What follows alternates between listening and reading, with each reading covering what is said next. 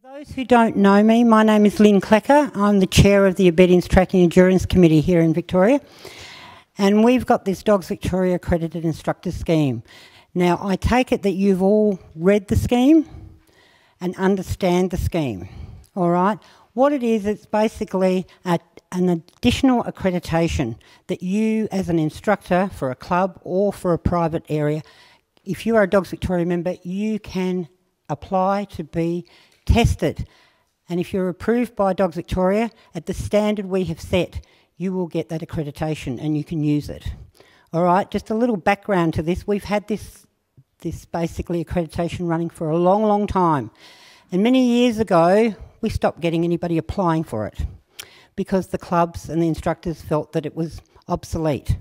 So, in consultation with the clubs, we had lots of meetings at the old showgrounds and we had lots of post-it notes of what they wanted to see. And that's how we came up with the accreditation scheme we have now. Years ago, you used to do it all in one go, and it was a really big day. But now we've de decided that it should be at two levels. All right, so we have the Dogs Victoria accreditation, the basic level instructor, which is basically from beginners, which are the most important classes, as all instructors know, right through to novice level. Then we have a master instructor level, which goes from open through to UDX. All right, so everybody has to start at the basic level, which is Dogs Victoria accredited instructor, and it's all basically in the scheme.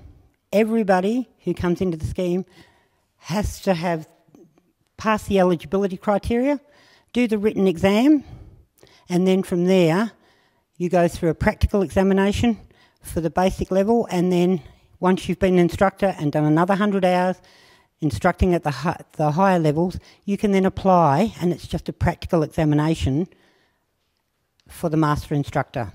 All right? Now, I know a lot of people have been asking about, oh, why are we doing this?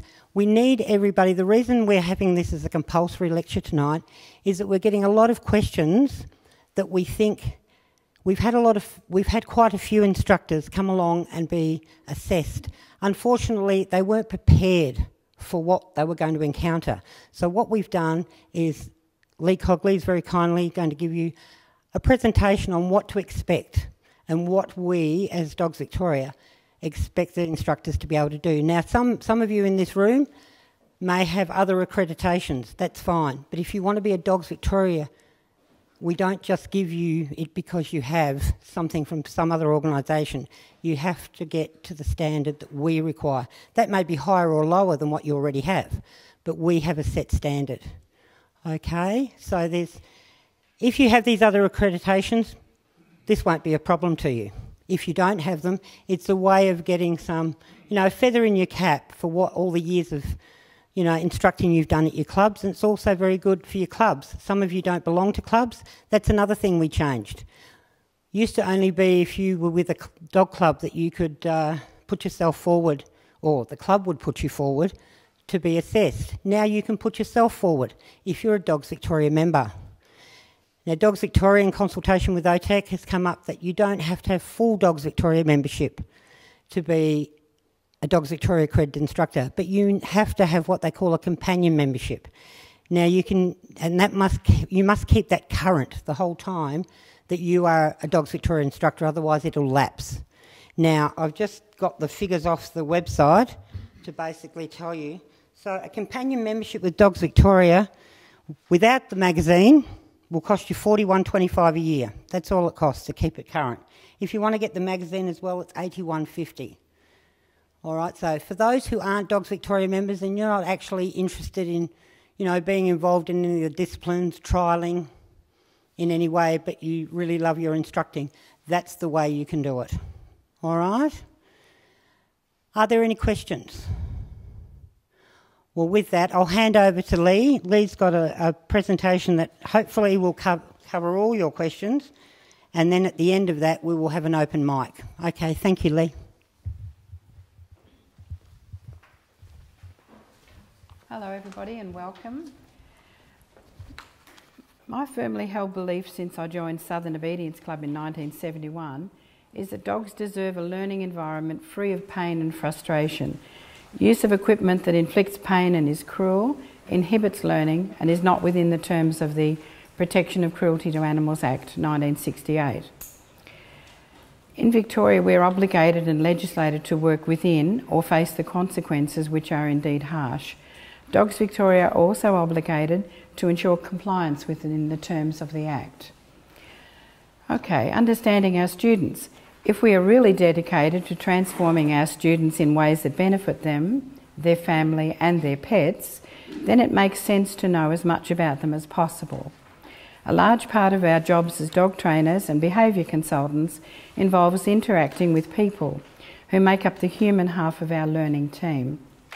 A large part, um, as human beings, we have an intrinsic need to want to understand other people, their emotions, their thought processes, and their actions. A key part of our effectiveness as trainers is being able to interact positively with our students. This means we must present ourselves well and communicate appropriately. When meeting new or prospective students, we perceive and interpret stimuli based on our sensory impressions.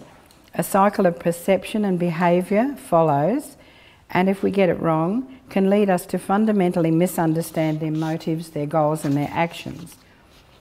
We can communicate with powerful words. The secret to understand others depends on our ability to communicate effectively. Words are powerful tools, and the choices we make can influence the thoughts, attitudes, and behaviours of others. By paying close attention to the language our students use, we can get a greater insight into what they are really trying to say. Then we can respond more appropriately and effectively to them as individuals.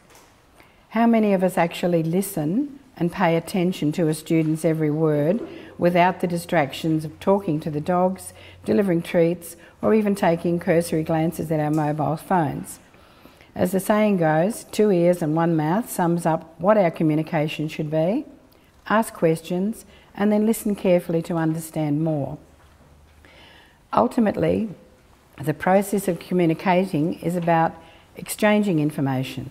How we say things can be just as important as what we say. By changing, somebody's got a mobile phone on, by changing the impersonation of our voices, we can inject emotions into our messages and make them sound upbeat or downbeat.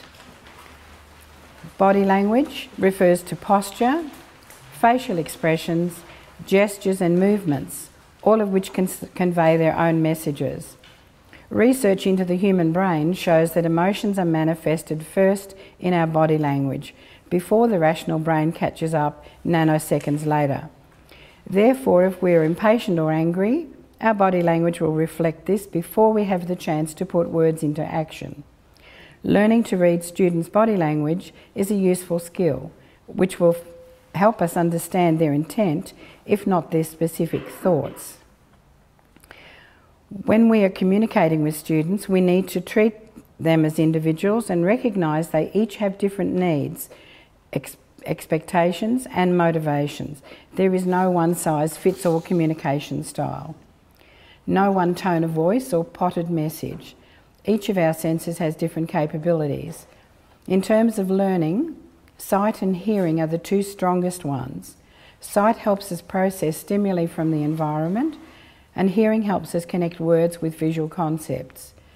Each of the five senses acts as a portal for learning. Every stimulus passes through the portals of the five senses and then into the brain. During a training session, new information is delivered into the short term memory area or information treatment location. This is where information is examined and, if it is important, will be transferred to the long term memory. If the information is deemed unnecessary, then it is forgotten. More often than not, this process is not a conscious one, but rather an unconscious decision. Research suggests the human brain can only hold between five and nine new pieces of information at a time. The size of the information is dependent on the prior knowledge of the student.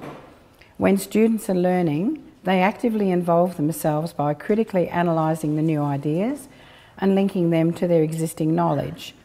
This level of learning leads to long term memory retention and problem solving. It promotes an understanding and application that can last a lifetime.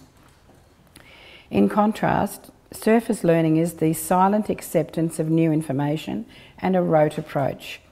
Surface learning leads to shallow retention and does not promote a real understanding or long term retention of knowledge or skills. How many times have you stood in a class with the instructor, chatting, chatting, chatting away? Everybody gets restless, the dogs get restless, and then it's very hard to keep your complex learning going. So, um, commonly, we need to keep moving. Rather than stand around and talk too much, we need to deliver the message, move on, and see how much your students retain. Therefore, training for adults must be relevant, must be confidential, it must be motivating, it must be engaging, personalised, flexible, reinforcing, and retainable. Our students deserve our respect. We need to make our sessions fun, engaging, and relevant. Students need to see and experience demonstrations and practical applications. As trainers, it is important that we effectively structure our sessions to prevent the development of frustration. In a nutshell, our role is to identify our students' needs in terms of skills and knowledge and then help them achieve these competencies by using planned processes so they can train their pets more effectively. At the same time, we must work to create a training environment that is conducive to learning. Our brain reacts in the same way to threats against the self as it does to threats against the body. Because of this, disrespect, shame, and humiliation shut down learning as quickly as physical attacks. When I was a brand new instructor, I remember commenting to a lady with a lovely chocolate Labrador, Oh, your dog's a little bit fat. Oh, I shrink now to think that I said that. And she turned around and said to me, Yes, the puppies will be born in four weeks. oh dear. I had to back up really, really fast, apologise profusely, and never made that same mistake again. Instructors need students, and students need instructors. It is a symbiotic approach, and we must do our best to provide the best service and clearest paths to learning, free of frustration, pain, or humiliation engendering a clear instructional and non confrontational path for world's best practice learning. Um, some of these words are from a book by a person called Niki Tudge. She's the author of People Training Skills for Pet Professionals. Very much well worth reading.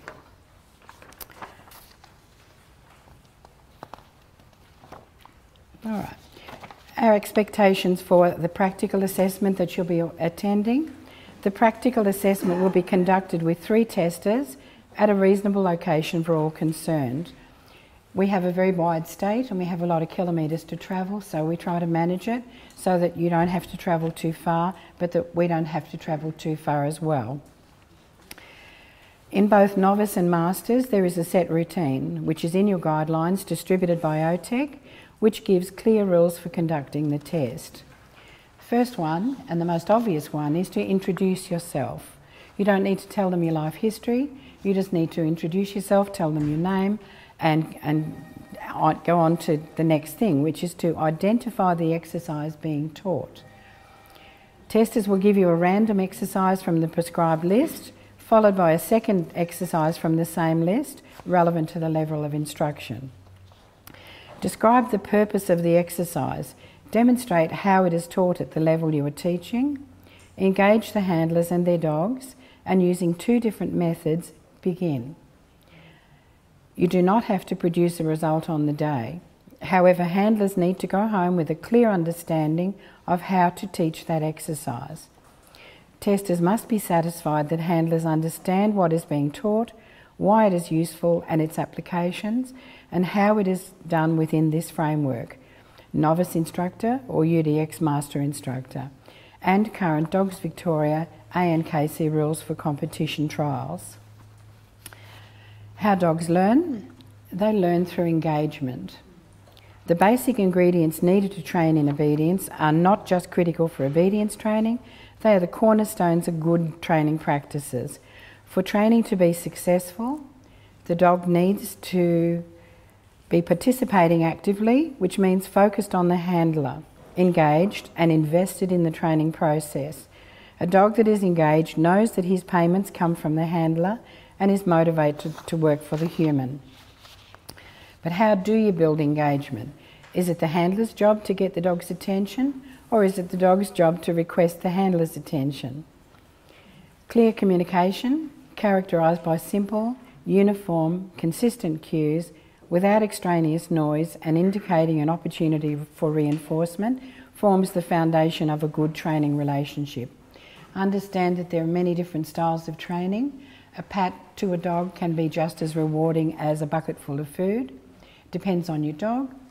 So you need to choose how you're going to train your dog, but be sure that you motivate your dog, engage it, and get that good foundation going. For dogs, it's making the choice, and it must be a choice to look to the handler. The choice is driven by the knowledge that the handler has some kind of reinforcement that the dog wants, that the dog understands that he can access it through his behaviour, and that he's physically, mentally, and emotionally able to pay attention and earn it. I've seen dogs in obedience uh, clubs that are clearly unable to sit well, clearly unable to walk well, clearly unable to lie down promptly. You need to offer your opinion that this dog is struggling. You cannot offer a veterinary opinion, that's up to a vet to do, but you can, unlike my fat Labrador story, you can actually say, I think your dog is struggling. Have you thought of going to a vet and seeing what's wrong? So don't just assume that because the dog is limping, uh, unable to get up or down, that you need to persist with that dog. It's important that the dog's health and well-being comes first. Okay, each repetition of wait, choose, reinforce puts deposits in the bank account you have with your dog. Over time, rehearsing these skills and repeating this scenario over and over develops a, a powerful reinforcement history. The cumulative weight of reinforcement history is what defines the training relationship. When you sit down with a clicker and treats, or you lead, or, you, or just you're patting and you're praising, whichever is your particular thing, your dog should be actively trying to access that reinforcement. In a puppy, that will probably look like throwing his body at you, pawing or nibble at your hands. A savvier dog may look up at your face or perform one of his favourite little behaviours and glance significantly, significantly at the source of reinforcement. When you see those behaviours, you know your dog is engaged, and that tells you that the stuff you have will actually function as reinforcement within the training session. If your dog knows you have food but continues to go off sniffing the grass, then the food is probably not going to function as a reinforcer. It won't strengthen any behaviour for practical purposes.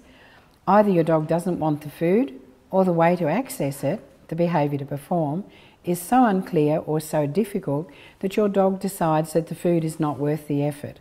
Either way, you can't train yet. You can show your dog the food, put it right in front of his nose. Call his name, smooch, snap your fingers, shuffle your feet, or generally prompt or nag your dog into looking at you, and maybe he'll take a treat or two to appease you. That's not building a training relationship. When your dog feels overwhelmed by the environment and you repeatedly request, cue, or demand his attention, you are adding to his stress and likely making yourself an aversive. I see that over and over again that the dog just shuts down, looks away, refuses to engage because you have become something aversive to the dog.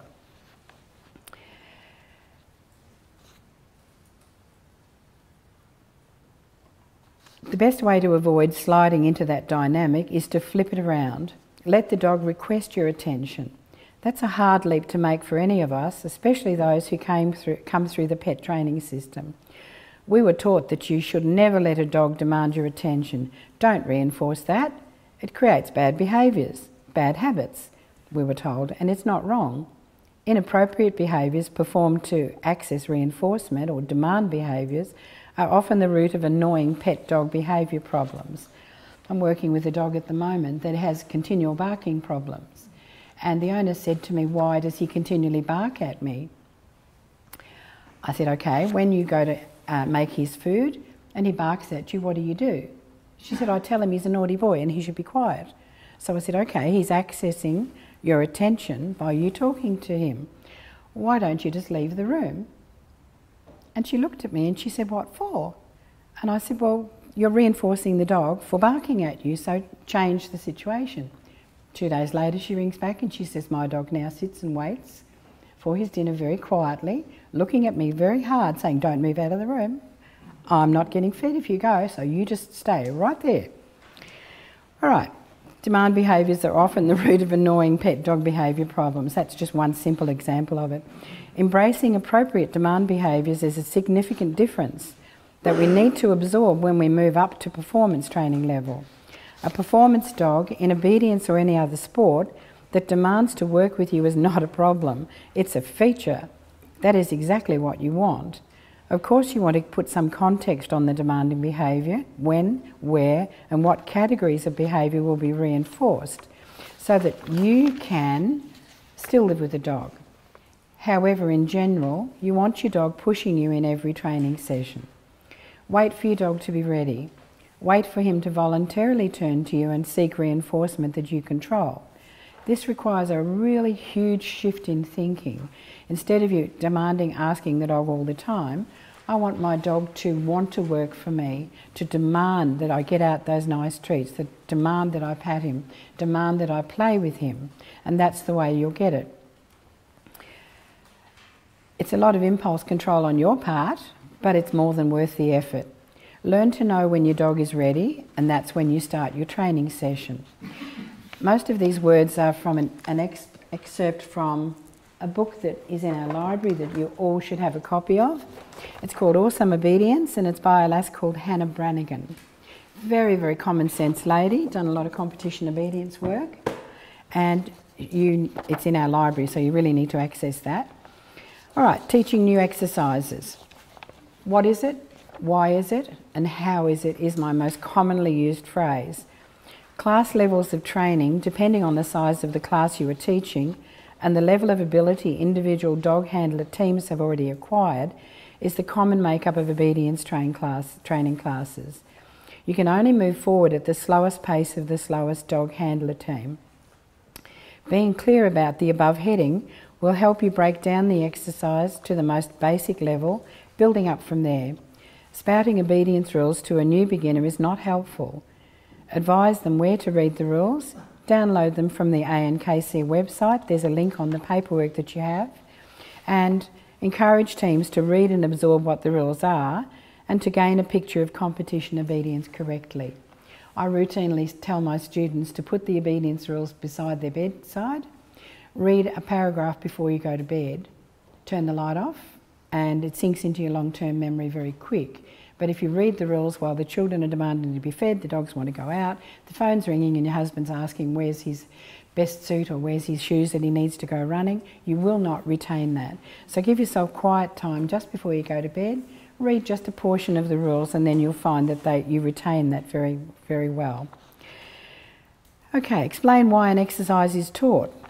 Stand for examination is a necessary skill for all dogs to be handled.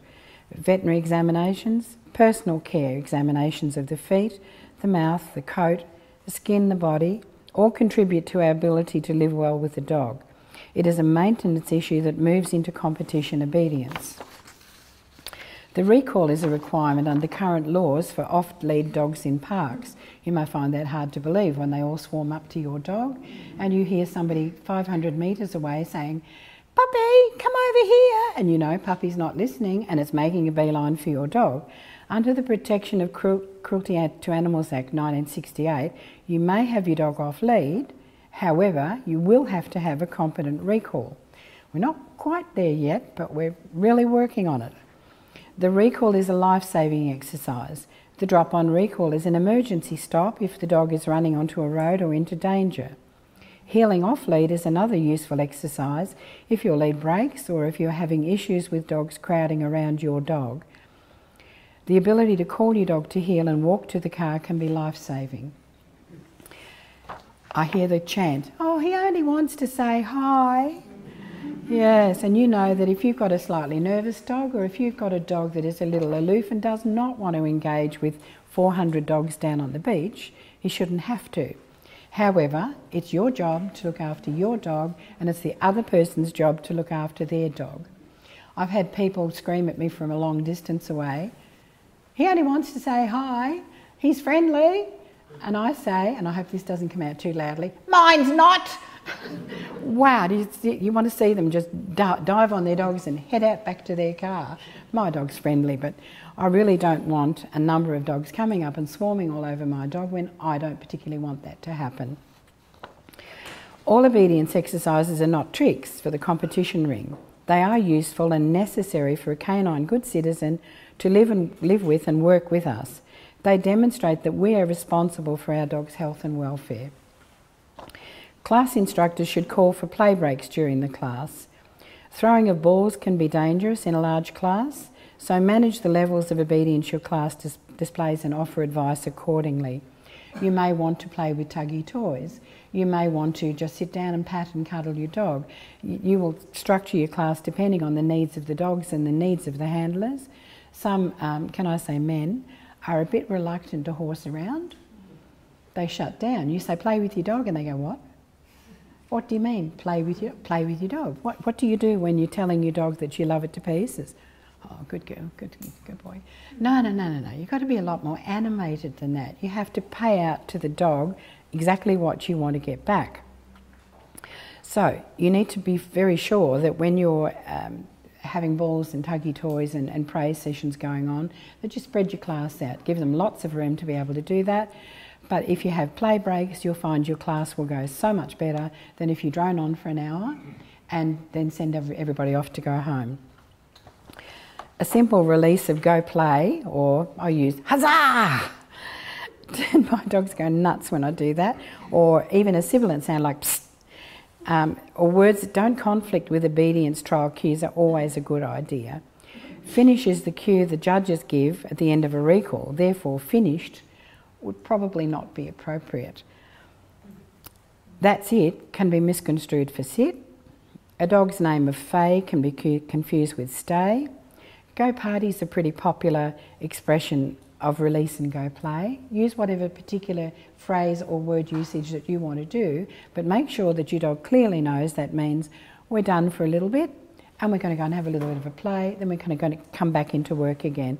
You'll get uh, a lot more out of your dogs in a class if you have play breaks. Don't think that you have to be serious and strong for a whole hour. All right. We're looking for a start and finish cue. Are you ready is the cue a judge gives you before performing a competition exercise. Therefore, it's inconsistent with a get ready cue. If you use yes as a verbal marker in training in the competition ring and you don't reinforce that behaviour, there's a build up of lying to your dog. If you say yes and the dog doesn't get the reinforcement that it expects, even if you think you can say yes seven, eight, nine times and eventually reinforce something, the dog will sit there and blink at you and go, I really don't get that. So I think that dogs are fairly simple creatures. They need to be very sure of what it is that you want and why you want it. Consider responding with, when the judge asks you, Are you ready? Consider responding with, I am, or we are, when the judge asks, Are you ready? rather than saying, Oh, I am, or maybe. No, you need to be in charge of your dog, and when the judge says, Are you ready? bang, you say, Yes, I'm ready, but don't try and get that yes word out of there. So swap it for I am or we are and sound confident because that's what goes down the lead to the dog. Dogs Victoria has an amazing library with committed and determined volunteer staff who are happy to assist you with CDs, DVDs, and books to further your learning. Remember, they're volunteers if you're inclined to criticise. If you don't want to do their job for them, don't criticise. Give assistance politely and remember to thank the volunteers for their help. All right. I think we're ready to go open to questions now. Sir? Have I bamboozled you with science and you're all not going to speak? No, come on, give me questions. put, put your hand up and wait for acknowledgement. I'm just a little bit confused about the lower level instructor, right? Um, it it seems to me is is the purpose the aim of the lower level instructor is that um, in relationship to the approved training organisation with the Victorian Government. Lynn? It is. Um, if it is, why is in, in, in the master instructor, I can understand why there's so much emphasis on trialling. Yep. But in the lower one, I would have thought there seems to be a lot of emphasis on trialling when really I think it should be directed towards um, responsible pet ownership. Because as an affiliate, we probably only have 2% of our members that actually go on to trial. There's all this emphasis on, you see what I mean? To me, at the master level, I understand the emphasis on trialling and promoting trialling. But the lower level one, to me, there seems, in the literature, there seems to be a hell of a lot of emphasis on, on competition when really I don't think it's relevant to um, responsible pet ownership. The basic level of instructors is basically so that you can show that you can train a dog to that level. They don't have to go and trial, but you can train it to that level. Just as Lee's just explained, teaching a recall, a novice recall, can be, you know, a great asset to your dog. Same as off-lead heeling. These are all things that are done up to novice level. So it's not necessarily that they have to trial, but you as an instructor have to be able to teach them how to train their dog to do these things. So maybe the emphasis you're reading into it is more than than was intended because it's just that you need to be able to do that level of exercises to get that level of accreditation.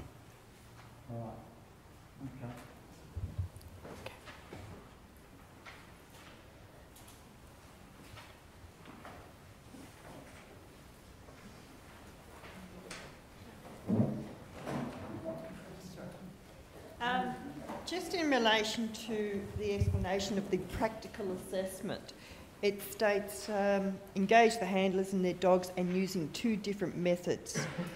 just in regards to that, are they specific types already explained somewhere or are they your type of methods? Because there's many different type of methods. You can, you can understand there are a lot of clubs that teach in a lot of different ways, so we're not trying to standardise what the clubs do. We want to see your level of expertise and we want to see that you can do it more than one way. You might have a person who is a bit um, bright, busy, catches it, gets on with it very fast, but the rest of your class don't necessarily do that. So you may have to explain in a different fashion, a, a slightly different way to do that. For instance, just a sit. I mean, every, what's the first thing we do with a baby puppy? We teach it to sit for its dinner. So you might say to um, uh, one particular person, um, pull up, push down, say sit if you use a manual approach. You might lure it with food if you use a food click reinforced approach. And if somebody doesn't get that, what are you going to do? You have to have an extra level of instruction that will challenge that person who didn't get it. You don't want anybody to walk away from a class saying, oh, okay, I don't want to feed my dog, I don't want to do that to make my dog sit. What else can you teach me? Show me a different way. And it's the same with drops, it's the same with recalls. I mean, you, you have to have a level of expertise that convinces us when we test you that you do have a broad amount of knowledge rather than just one single vein of knowledge. Yeah? Does that answer your question? Uh, yes, and, and in actual fact, I was going to the extreme other, the masters, so that you would have multiple levels in way of doing broad jumps, directional jumps, Yes. that sort of thing. Yes, Yes. that's fine. Yeah, some some um, some dogs are not physically terribly good at jumping, so you might have to say um, this dog needs more of a run up, and the dog is struggling having this, so we'll break it down into just doing this small portion of the broad jump. Another dog might be very active, very busy, and you'll just get the dog over really quickly. So you don't need to show that dog that the uh, the easier way to do it because it doesn't need it. But we need to see that you have that expertise. That if if Group A does it this way and Group B does it this way, that you're not disenfranchising one half of your class. Yeah, it's all about your your level of expertise and your ability to put that over. Yeah. Anybody else?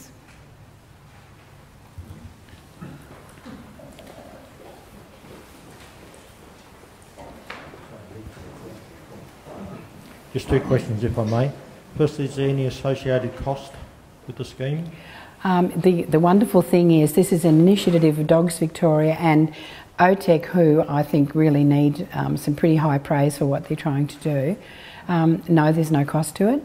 You simply apply, and um, Lynn, in her wisdom, sorts out where, when, and how, and we invite you to come along and do it. Okay, that, that's great. Now, secondly, the, the notes are really great. For those that are attending, can they share those notes with other fellow instructors? Of course.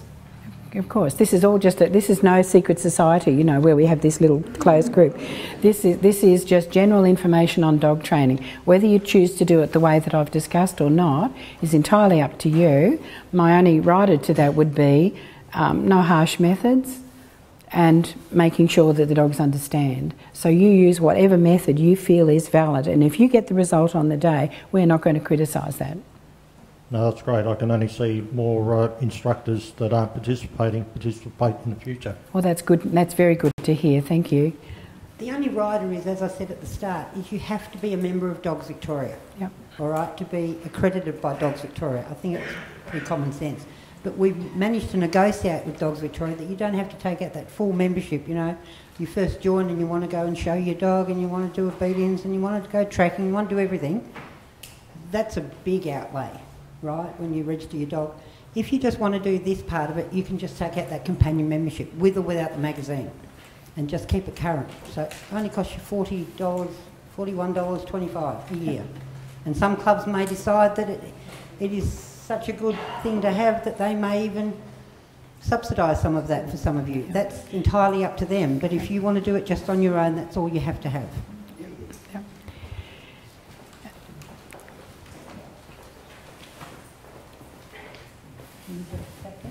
Where are all the workshops going to be held?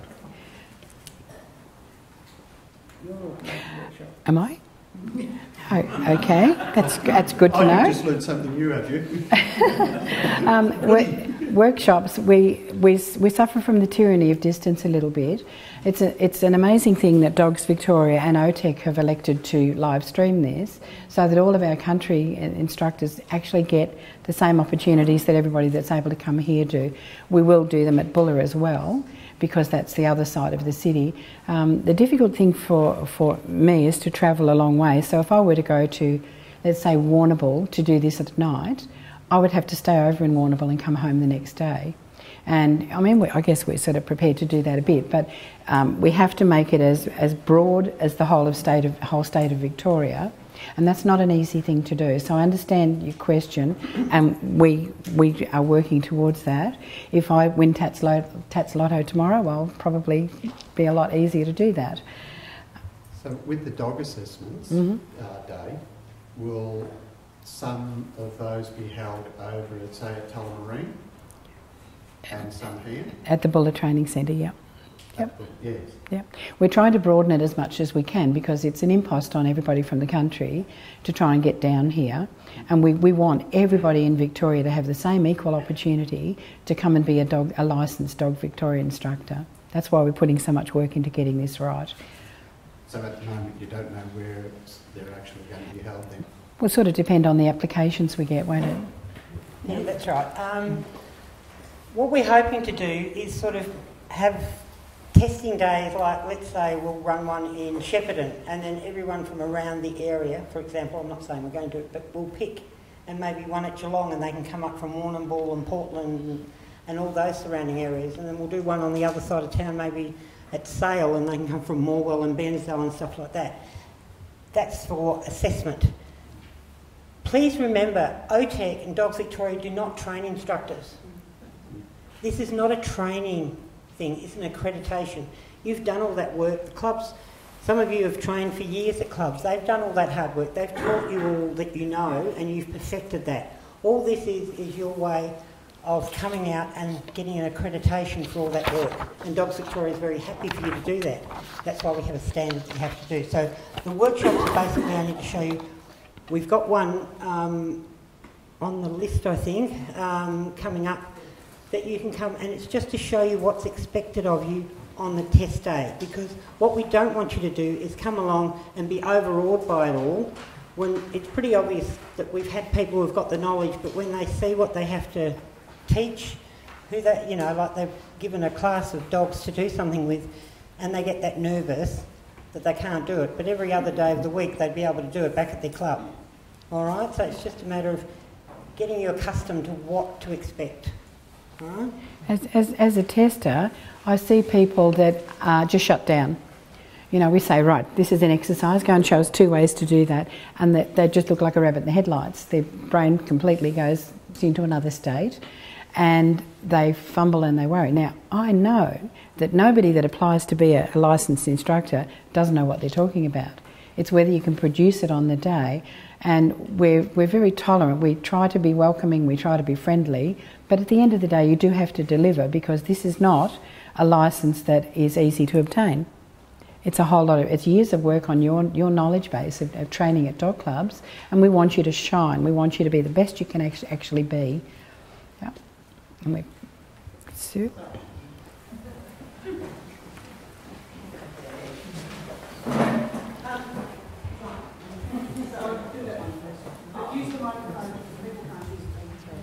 Um, I've been with Dogs Victoria for about four and a half years, but I came from Queensland and I was in um, Dogs Queensland Yep. before it was CCQ, I think the name It's all confusing, isn't it? No. Yeah. Um, would that be recognised by Dogs Victoria? Because I've actually circled to do the, the, the CCD bus plus the Masters. Lynn can answer that question. Yes. Any member body, if you can prove that you've been a member, that'll count to the continuous membership as long as you've had continuous membership with any member body in Australia. Okay.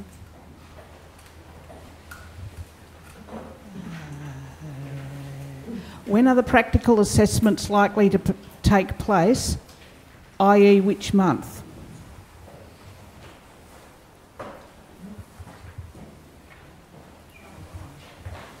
Uh, they'll be after the written exam. We will do some before Christmas and some after Christmas. But can I use this opportunity to say to the clubs is that we may need your help to do this because the hardest part is getting the beginner dogs in. So perhaps one thing we could explore if there are two um, clubs, one group of instructors can go to one club and take part of a class, and then they can do it reciprocally. Ca because we cannot test people on the class that they are taking. You can't know the dogs and things. Okay? Uh, uh, I hope that answers the question. I've got another one. I'll grab this. The, the page keeps refreshing. Uh, the novice instructor you talk about says that you just need to be a companion member, but to be a novice instructor, the Dogs Victoria document says that you must have trained a dog to CD level. Please explain.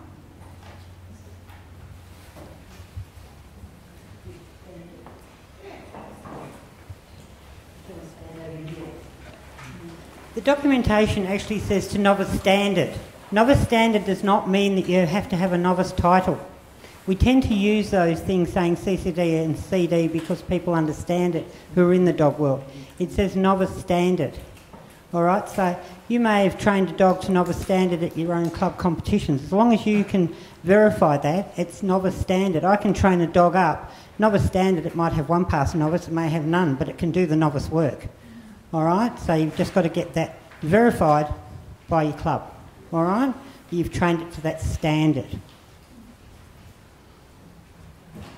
I probably don't need the microphone. How are you going to verify that people who have actually instructed for their minimum of 100 hours? They have to give us the information to verify. We go back to the if they're doing it at a club or if they're doing it privately. We have to have verif- they have to give us the information so we can verify. So if you put down that you've trained, you've instructed 100 hours for the German Shepherd Club. Sorry, Diane, but I know that's where you're from. We'd go straight back to the German Shepherd Club and say, "Can you verify this for us?" It's a little more difficult when it's somebody who doesn't train at a club. And I, I guess we have to have um, a little bit of faith in people's honour that if they say that they've done that, they have to. It will be very clear very quickly if they haven't. Yeah.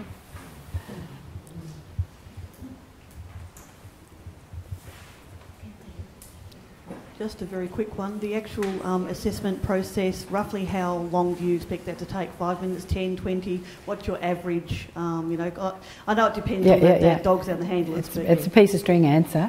Um, it depends on on the crispness of the in, the instructor.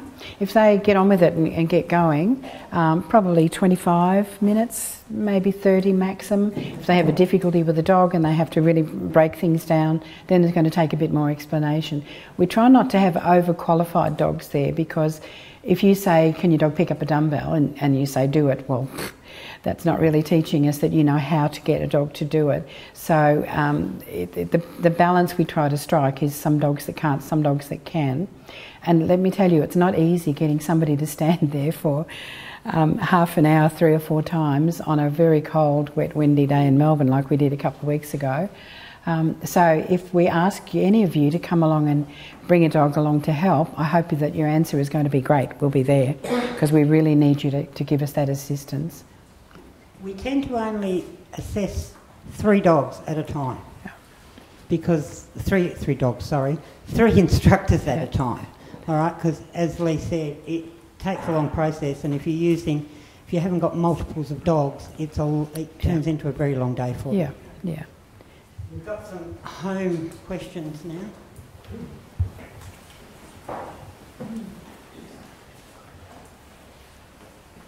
Lee, with rewards, what sort are we to use and how? Is it just food or are tugs, balls, etc. appropriate? Will we, will we be supplying in case those in the class don't have any, as is often the case? That's another piece of string answer. It's up to the instructor to apply a method. So if the dogs are normally trained with food, most of the handlers will have the big bag on their pocket. If most of the dogs are trained with toys, most of the handlers will have that. If it's just purely praising and patting, then that's always on your tongue, isn't it? So it's, it's, a, it's up, entirely up to the instructor what they can get out of dogs. Now, if they get a group of dogs and they cannot get um, the explanation through, it's not whether they get the result on the day, it's whether they get the explanation through so the handlers can go home and work on their dogs, clearly understanding what it is that the, it's the what, the why, and the how of what they're doing. So we don't tell you what you can do. We leave it up to you to decide whether you can get that result out of the group of handlers that you finish up with. Yeah. Does, do you think that answers the question? I think that answers the question. Okay. Uh, they'll tell me if it's not, don't worry. Uh, the next question is Can you please elaborate on the written exam and what requirements are there, i.e., number of questions, types of questions, pass mark, etc.? No, no, that's that's your your bailiwick, Lynn. Um, uh, we are, uh, the, the number of questions is, um, I, I don't, I'm not sure that that is actually relevant. The, the types of, types of questions is included in the scheme. There will be some small, small paragraph answers, um, a lot of multiple choice. We do not want war and peace. Um, we sort of want a comic strip. We're asking for dot points. So dot point answers are encouraged. So uh, if you have a look, we have put a couple of uh, examples of questions in the actual scheme. Um, there will also be some questions on body language of the dog. Now, we will be putting in photos, we will be asking, what do you think this dog is showing? And we will try and use clear photos, and there may be a number of interpretations, that's fine. Um, pass mark, we, we expect 80% pass mark. Um, we, when I say the number of questions is not relevant, it, it is a significant paper. We expect, we, we are allowing one and a half hours, but we don't expect you to take a full one and a half hours. But we don't want to rush people. we also want to encourage people that who may not have done a lot of education that it's okay. It's, it's not like you're not doing a PhD, okay? So if you're concerned about the written paper, then we welcome the opportunity to help you, okay? If it, if it concerns you, there is also an oral option. However, you will be answering the same questions and the, as it says there, the candidate, it's not a discussion. You're just dictating the answers. So if it worries you to write things down, and, and that, that's, that is some people, particularly if your um, native language is, is not English. Um, so I hope that answers that question. Um, now I have another one. Boy, they're getting. Oh, he said, Thank you, I answered his question. Isn't that nice? Um, if you have attained the VCA instructor's licence from many years ago, does that equal the master instructor under this scheme? No, that just goes up to the, the first level, Dogs Victoria. If you are a Dogs Victoria instructor, you're a Dogs Victoria instructor at the first level. You can then, if you are a Dogs Victoria instructor, you can apply to be tested as a master instructor because back in those days they didn't cover UD and UDX. So you have to, if you want to be a master instructor, you have to show us that you know how to train those exercises. You can impart that knowledge to someone how to train their dog to that level.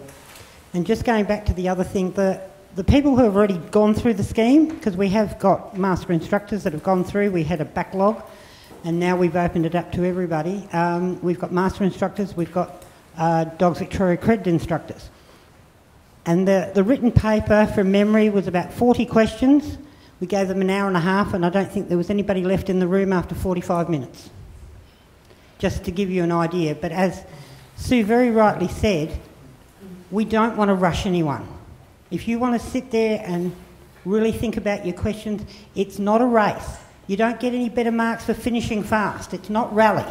You know, the faster you go through the course, the better it is. It's not that. We want to know that you know your stuff. And if it takes you an hour and a half to write it down, so be it. All right?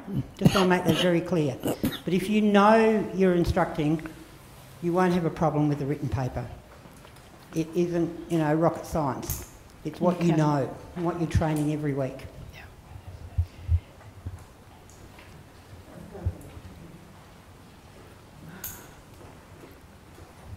Um, you know how you said that you'd um, welcome members from clubs with their dogs? As most clubs probably close over that December, January period, um, I'm sure our club would be interested in putting people up with their dogs. Um, we'd have to know in advance when the dates were so we could get them. And what sort of level of dog do you want? A new person that's got no idea, some dog that's got a little bit of an idea, um, or what? Mm-hmm. Well, we don't want to do them in January. We want to we want to have a break too. Yeah. Well, we want to do. We're going to do some testing before Christmas, so that's like before the end of the year, and then we won't be doing any more until probably it's a little bit cooler, maybe about March, April. Once the clubs are back, settled down.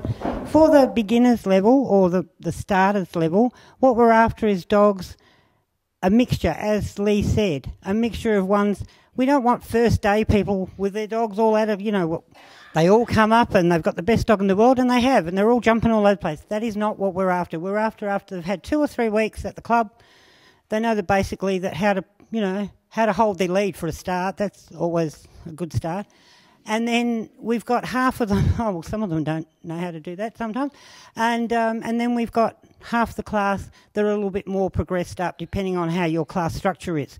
You know, they already know how to do things because they're the ones that they'll be teaching how to do the novice, more so the novice exercises with. All right.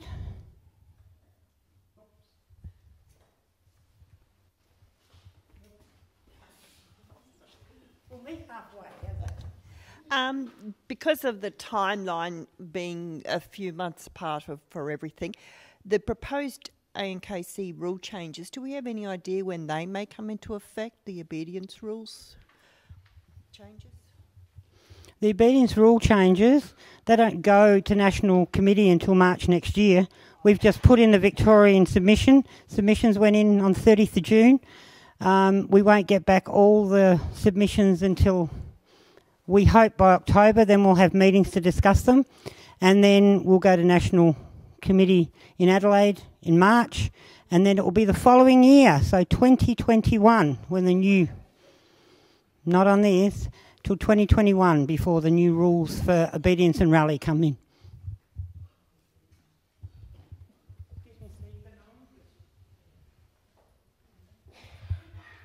Okay, I'm going to summarise about four questions.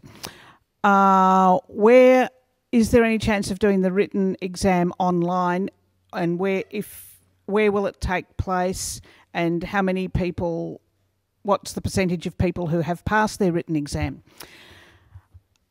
Uh, I from memory, I think about 95% of people passed.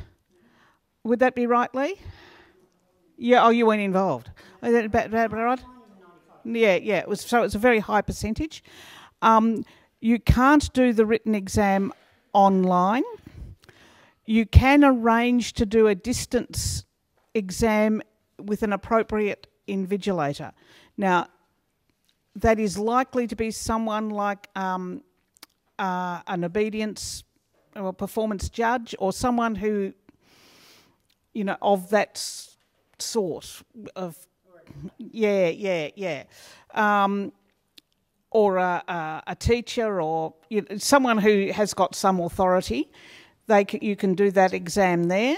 We will have a, a we will send the exam to that person and then uh, they will arrange for it, but it must be done at the same time as the written exam because it's the same exam. And uh, then they will post the exam back or hopefully email it back or something. Uh, I think that's, yeah. We do this with our judges. We have judges that live all over the state, and when they're doing their written exam, they don't all come to Bulla to do them. We send them down to an approved organisation like a TAFE or somewhere, and they've organised it, and those papers are sent there, and they, they sit the exam at the same time they're sitting it at Bulla. And then it's uh, by an accredited person, and then it's sent back to us at Dogs Victoria to be marked. So it happens everywhere. People do distance exams all the time. You've just got to get the accredited people with the credentials who can do it.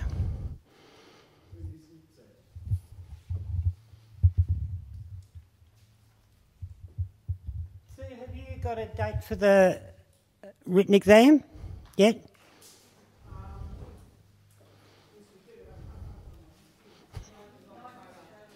9th of October.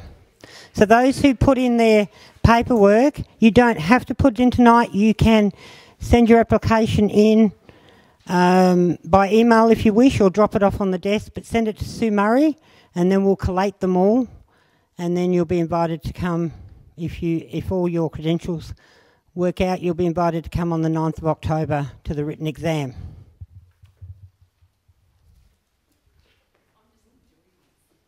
You just want to see me running around, don't you?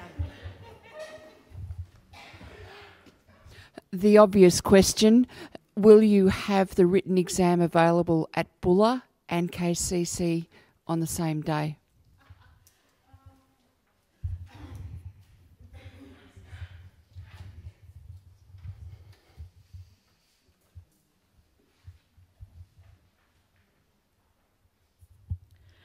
We went through a number of different dates trying to find a date when there was the rooms were going to be available at Bulla and at KCC Park at the same time. That is our hope, and I had, and I have now just remembered that I didn't confirm that before the office shut today. So that's my bad. We'll send out an email. Um, but we were going to send out an email anyway. Now, I've got some queries about the workshop. Now, the reason that we didn't send out the details about the workshop first is that we with with this was we were getting a bit inundated with emails, um, all asking the same questions and getting a bit confused. So the workshop is on Saturday, and you'll get all this in the email in the next couple of days. But just to so people know that we're doing that. We have sent you the date, but this is the program. It's Saturday, the August the 31st, and it's at KCC Park. So um, Lee Cogley and Greg Bobbin are doing uh, a session on helping owners and handlers set up a puppy for life. Uh, Kerry Piper is doing a session on identifying canine body language. Lorna Piper is doing a session on making training fun. And after lunch, it's a BYO lunch, uh, there will be a question and answer session on issues that you are having as an instructor. Not a question and answer on the scheme, but as an instructor. Okay? So there we are. Uh, and while I've got the microphone, I've got another question. Um, will the novice and master's exam take place on the same night? Yes, because it's the same exam. There's one written exam, there's two practical assessments. Okay? Thank you. Okay, just to make that clear, everybody sits the same exam. You only sit a written exam for the entry level. Once you've proven to us that, then you're invited to do the Dogs Victoria Accredited Instructor exam. If you pass that, then you go away and do all your your work and everything and come back and apply later for the master instructor if you wish. A lot of people may not wish to go that high. They're quite happy doing the most important part, which is the beginning. We all know how you can make and break, and that's why it's very important setting up a puppy for life. You can make or break a, a puppy and its future at the club. All right, so some people may not want to go on to masters, but there's only one written exam. You do that, and it is current. If you fail, it's all in the scheme. If you fail your practical, your written examination will hold for 12 months. So you can reapply to be assessed again. As Lee mentioned about people who, you know, get very nervous and, you know, sort of can't do it the first time. And anyway, then they get used to it. They come back and they, they do very well the second time. So as long as you do it within 12 months, you don't have to sit your written paper again because the paper will get changed. Won't be the same paper for the next five years, it, but the one you do will hold good for 12 months.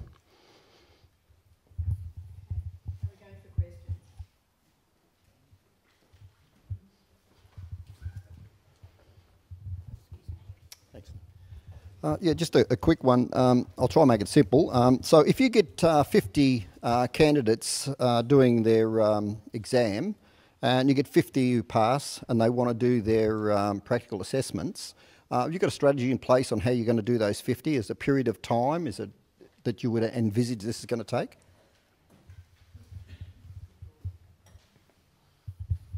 Well, as Sue said before, we need to have the dogs in place. We have panel members who can assess, assess. They've been through the train the trainer scheme.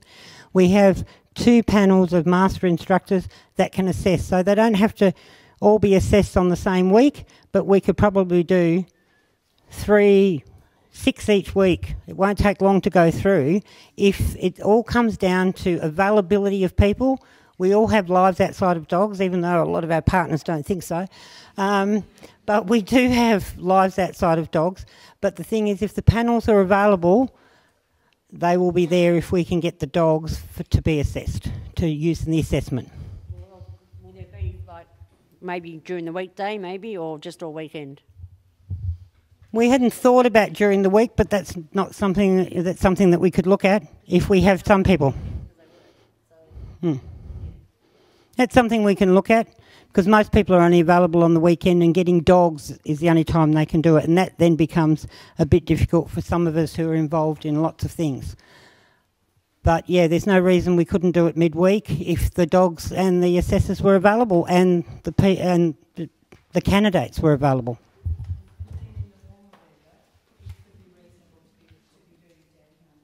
Oh, so that would be during the week, but later. Sorry. So you're saying that the um, uh, written exam is the the entry requirement level, and if you want to do that, can you then also then do the practical for the entry and the masters at the same time, or do you have to wait 12 months? No, you have to pass your Dogs Victoria accredited instructor first, Yeah. and then if you've got the hours up, as it says, at the higher level, and you can do that, you can apply. You've got you've basically got to do the first level, then go away and do your instructing and whatever else, and then reapply for the master level. No, no, it has to be. I can't hear you at home. On next Saturday's um, workshops, is it going to be streamed? No, no. It's, it's, we're very grateful for Dogs, to Dogs Victoria for having allowed us the opportunity to do live streaming. Um, it's not a cheap process, so we push it as hard as we can, but I don't know that the budget will cover that. We, we would like to do that, so if you want to donate to a fund, yep, go ahead.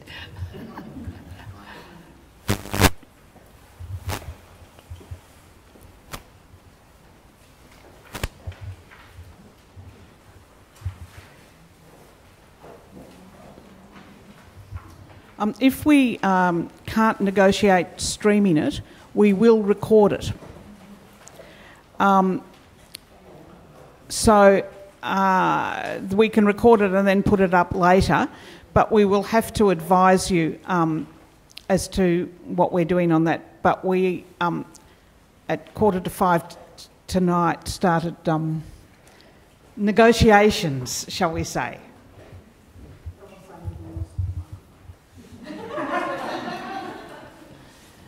Okay, any more questions? Oh my gosh, we've talked ourselves dry. That's fantastic.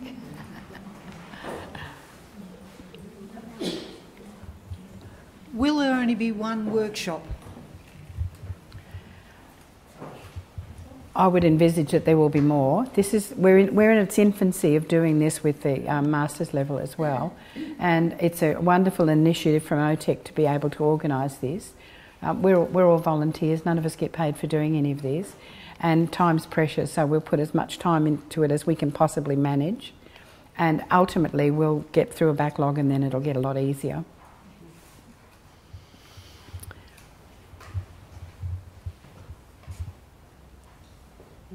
No more questions? More a suggestion than a question. If you're going to video the workshop, if you make that available to clubs for a small fee, that could be very beneficial. We take that on advisement. Is that what the politicians say? We'll Yeah, take that we'll take that under advisement. Thank you very much. but thank you for the suggestion. Any more questions? All right, well, that being the case, I think the live feed can basically finish. But first of all, I'd like to really thank um, Lee. Yeah.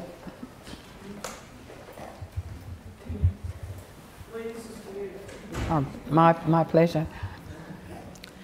Um, in the past, what was the pass rate for the practical component? Um, we had about a 50 50, maybe slightly less than that because we had a few rabbit in the headlights um, presenters who just sort of didn't handle it very well on the day. Didn't mean that they didn't know what they were um, trying to instruct, it was just that they were struggling with that. And I think as this goes along, the, the general knowledge will be that you present well, you stand up and you, you advocate for what you think is right about dog training, and that we are not the enemy. We're there, to, we're there to help you pass, but you do have to clearly show us that you have the knowledge and the ability to do that. Otherwise, a master instructor or a novice instructor becomes just a piece of paper. We want you to treasure that, we want it to be up on your wall, and we want you to be proud of it. Um, can you um, give a couple of uh, ideas of how people could best prepare for the practical component? Sure. Um, the, the mirror is your friend. If you go and set up a mirror and you talk to the mirror about what you're going to do, Um, you could gather a, a, group of friends as well, and, and you could practice on them. Um, I know I practiced on my five-year-olds. they had no idea what I was talking about, but they were a great audience. So you need you need that practical experience. Plus, or you could also draw on your club. There are, there are many instructors in your clubs who should be able to coach you and help you. So it's not you on your own trying to do this. Call on the expertise of others around you. But the thing is to practice, practice, practice. And like we say to people training their dogs, don't forget to do your practice at home. Yeah. Any more questions?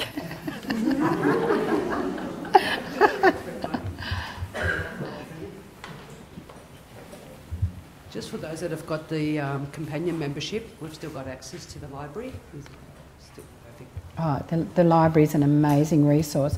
When you walk in there, you'll be overwhelmed with how much is in there, and the library staff do a fantastic job of sourcing new and modern ways of training. So they, they have, get online and have a look at the catalogue of stuff that's in there. It's just truly wonderful. Yep.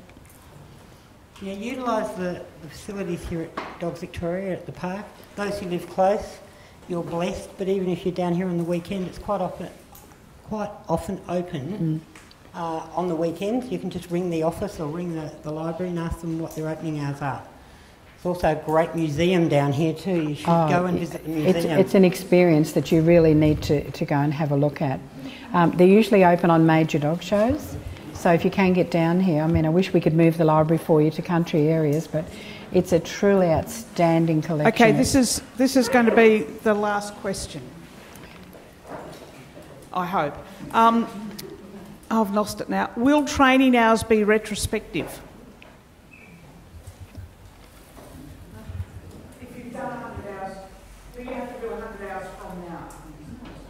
No, you don't. You no, your hundred hours because it's been done over the last five years.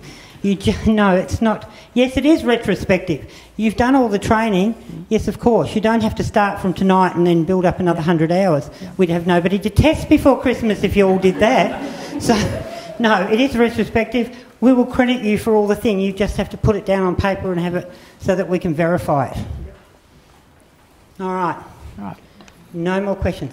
All right, I'd like you all, um, there's a whole heap of thank yous online coming through to Lee and to OTEC, so I'd like to pass those on, but I think we can all thank Lee's done a wonderful job here tonight, giving you a bit of an insight.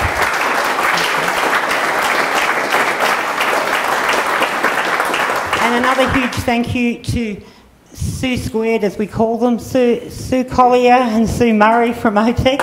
Um, I get to stand up here, but they've done all the behind the scenes work. Dawn Aiton's here from OTEC, and we've got some of our master instructors. So is Nolene over there in the corner looking after registrations. Um, and we've got some of our master instructors here that have already been through the scheme. Greg Bobbins here, Rosalie Gerlach, Rob, Rob Butler. Who else is here? Can't see with the bright lights. But anyway, when we close down the live streaming, feel free to have a chat to them. They've been through the scheme. If you've got any questions, I'm sure they'll be happy to answer them. So thanks very much again, Lee. It's been a pleasure. Thank you.